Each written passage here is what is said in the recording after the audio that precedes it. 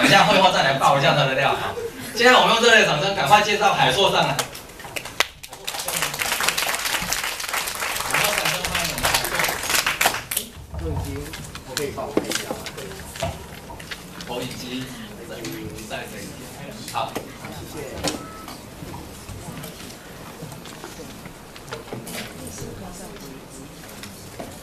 那个回调通通先传到这边来。那个刚才那一张，洗完之后通通传到这边来，我们再集中把它收起来。好，通通往这边传。那赶快传过来哦，保证可能等一下会先离开，那就先赶快传到这边来。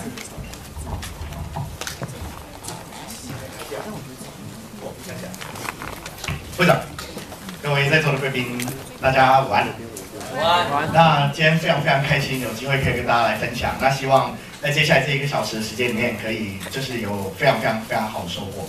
那在开始之前，可以先邀请大家把你们的手机或相机拿出来吗？不是要拍我，我不重要，不重要。那请大家拿出你的相机或手机，总之可以拍照的东西就可以了。好的，要做什么事呢？等一下，为了让各位可以完全不用做笔记，所以这是等一下解放的 QR code，所以你只要拍起来就是就是回去就可以直接看，这样各位就不用大家就不用抄笔记了。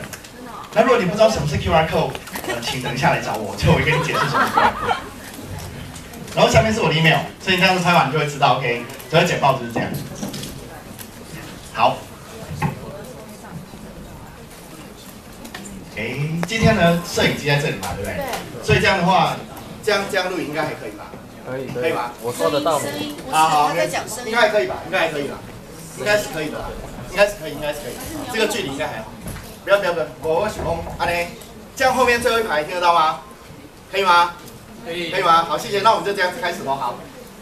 我刚刚听完了定位会友的分享，觉得非常非常感动。为什么呢？因为实在英雄所见略同。我等一下大概有百分之八十的内容跟你是重复的，真的真的真的。但是我们就是刚刚定位会友，就是他所谈的大部分是心法，那我谈的刚好就是我们刚好很互补，我谈的刚好就是怎么把这些东西做出来。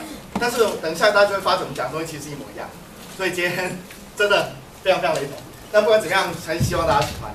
那等下在记前过程中，如果大家有任何的问题或者就是需要讨论的，随时都可以举手，都可以打断我，没有关系，不要客气。好，那我们现在开始喽。我们现在谈两。